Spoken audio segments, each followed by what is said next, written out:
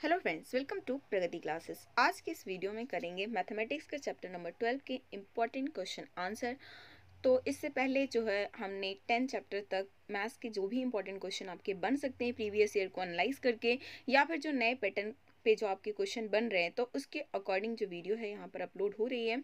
तो उनकी सीरीज़ को आप पूरी प्लेलिस्ट में जाकर सारे चैप्टर्स की वीडियो को ज़रूर देखिए, क्योंकि इसमें हम कवर करते हैं हर टाइप के क्वेश्चन की इस चैप्टर में से जिस जिस टाइप के क्वेश्चन बन सकते हैं, चाहे वो शॉर्ट हो लॉन्ग हो, ठीक है ना?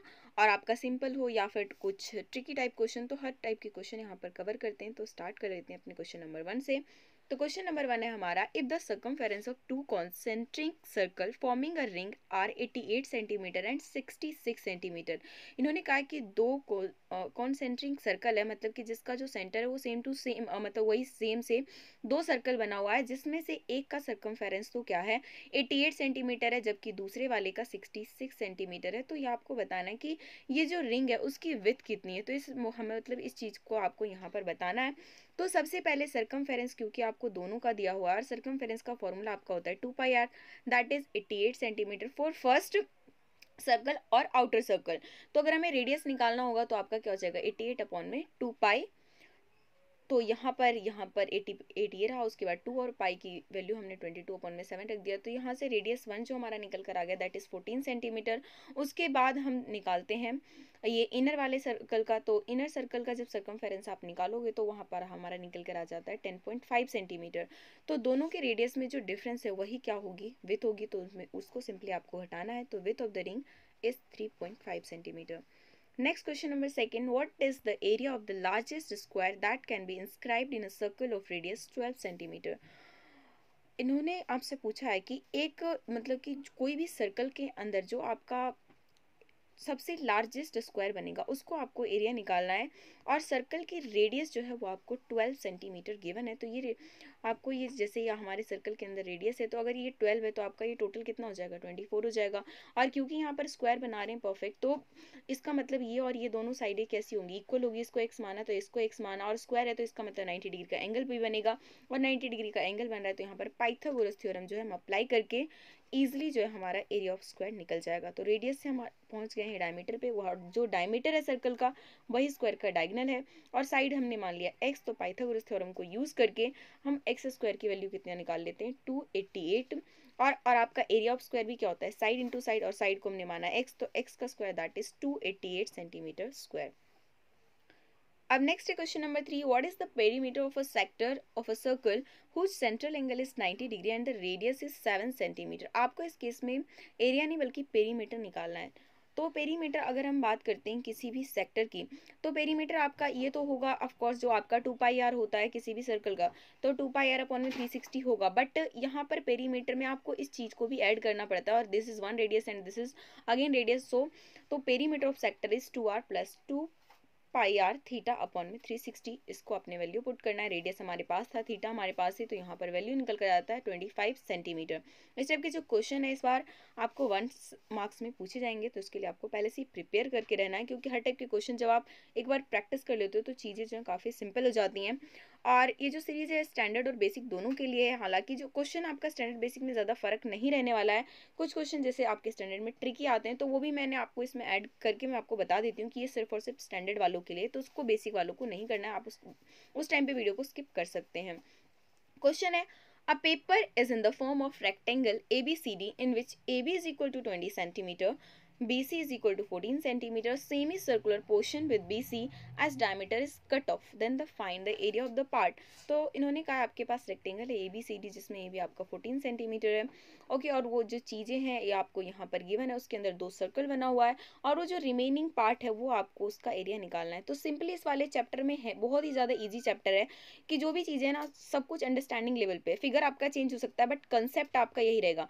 अगर हमें ये शेडेड रीजन वाला एरिया निकालना है तो सिंपली हम क्या करेंगे? रेक्टेंगल में से अगर दो, ये दो सर्कल के एरिया को हम हटा दें तो हमारा क्या निकल जाएगा? एरिया ऑफ़ शेडेड पार्ट तो यहाँ पर जो आपका रिमेनिंग कार्डबोर्ड का निकाल रहे हैं तो एरिया ऑफ़ सबसे पहले रेक्टेंगल कार्डबोर्ड निकालेंगे। एरिया ऑफ़ स्क्वायर को टू से मल्टीप्लाई करेंगे, क्योंकि सेम साइज़ के यहाँ पर दो सर्कल बने हुए हैं।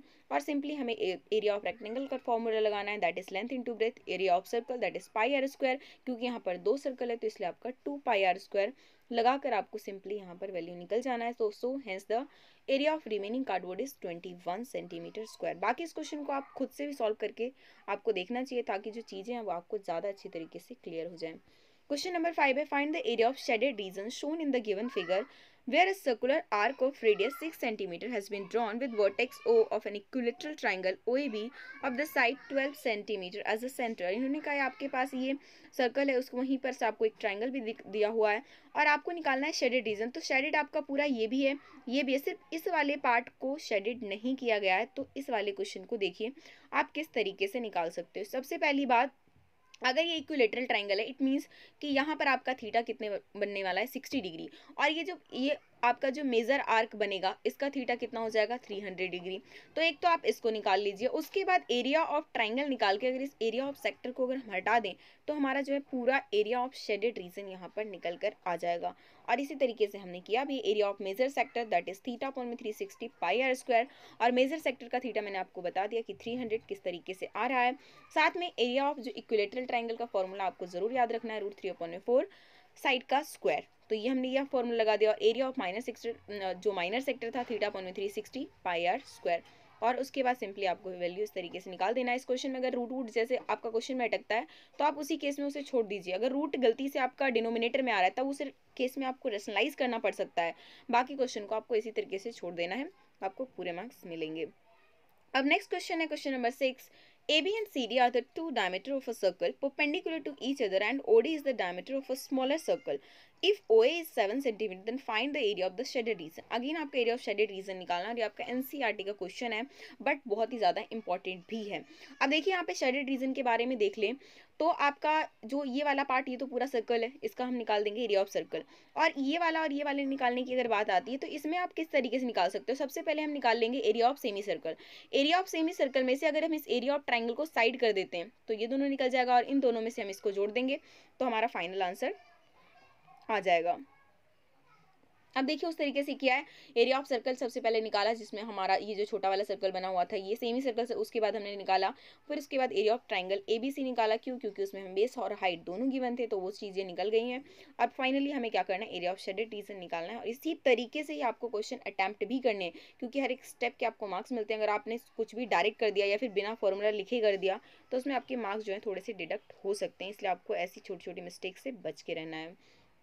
अब नेक्स्ट है question number seven find the area of the shaded region in the figure if B C is equal to V D that is eight centimetre and A C and A D जो आपका ये दिया हुआ है fifteen centimetre और ये दोनों दिए हुए हैं आपको एट सेंटीमीटर ओ इसका सेंटर है।